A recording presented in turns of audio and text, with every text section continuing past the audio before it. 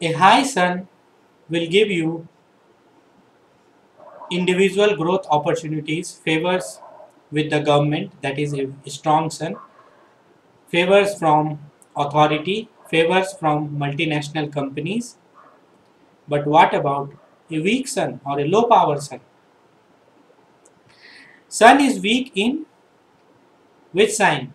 Libra because it is debilitated in it or when sun is in 6th, 8th or 12th house. But you know that in 8th house sun is significator for uh, sun is the consciousness and 8th house is the house of connecting to the outer world.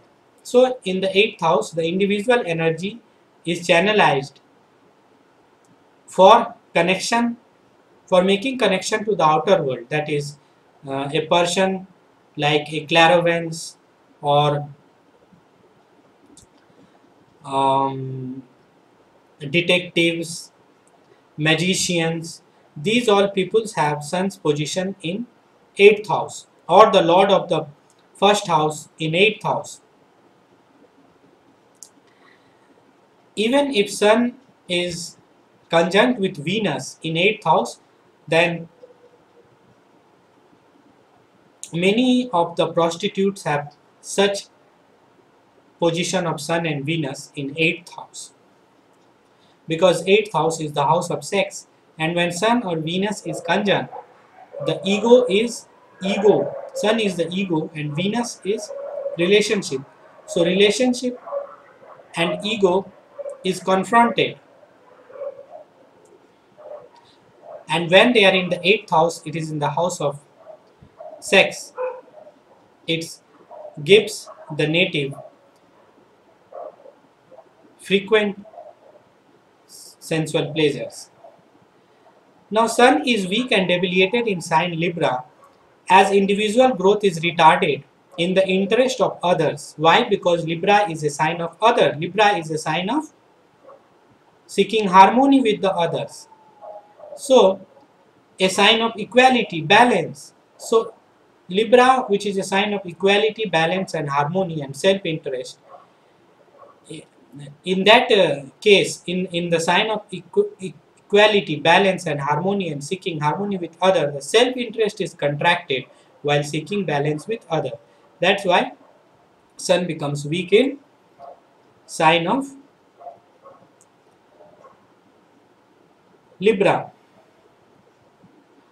Now all these things that I have discussed like uh, when sun is in the 8th house then it produces magicians or detectives or clairvoyant or when sun or venus is in um, 8th house then it produces sex workers and prostitutes and uh, also it gives frequent uh, sensual pleasures. So these all things should be considered with other factors also in the natal chart.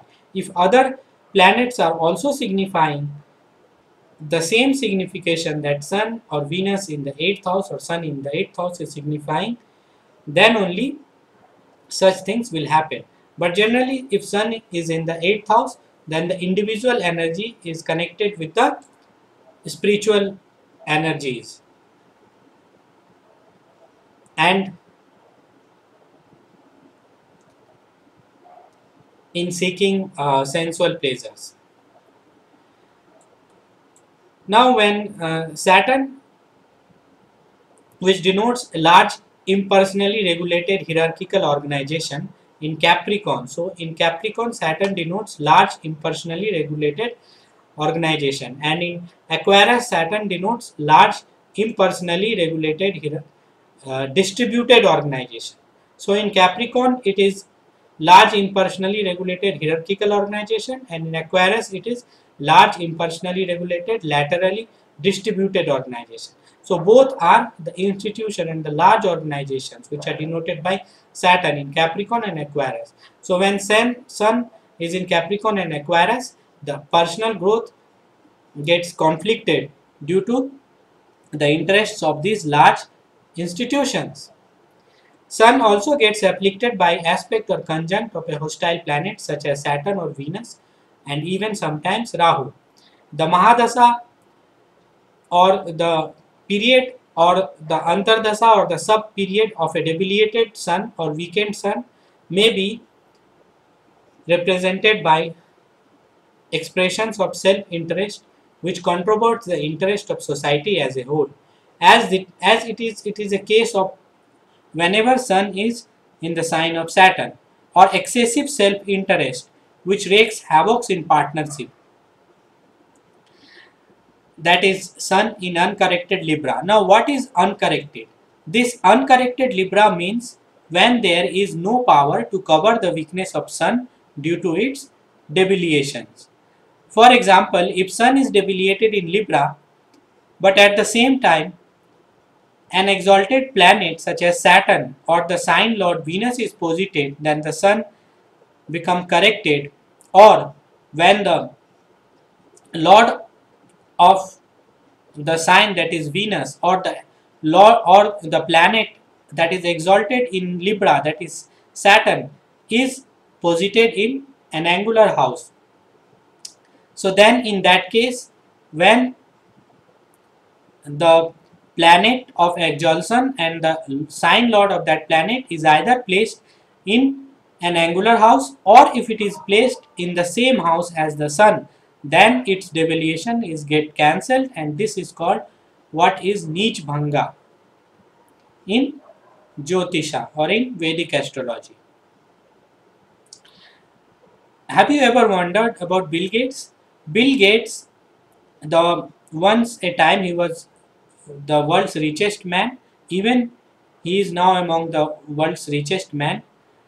He has Sun as the Lord of the third house, debilitated in fifth house which is a fifth house of creativity. Fifth house is also a house of getting huge wealth. And fifth house also represents computers and softwares, the house of creativity.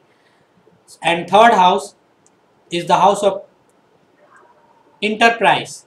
So when the lord of the enterprise is in the house of creativity, but sun is debilitated in fifth house, but at the same time the ninth house lord that is Saturn is exalted in Libra and the lord of the fifth house that is Venus is also present in Libra along with Sun. So Sun is with Libra and Saturn which is Saturn that is exalted the lord of the ninth house in the fifth house and Venus that is the lord of the fifth house itself sits in Libra.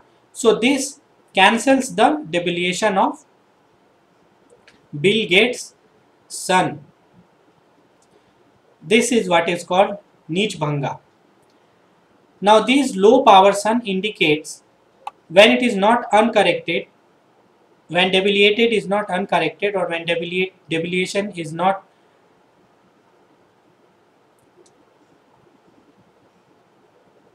like when there is no Nich Bhanga then the low power sun indicates weakened confidence and it keeps you cold.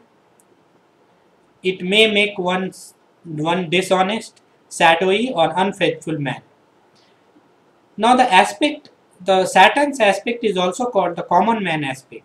So when this common man aspect is on the kingly sun,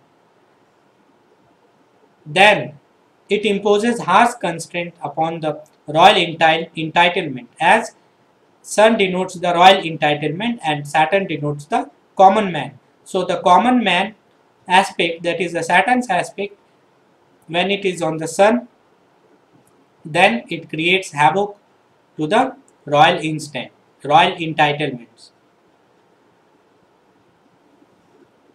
So keep watching me and subscribe me and know more about Sun. Just stay tuned to me.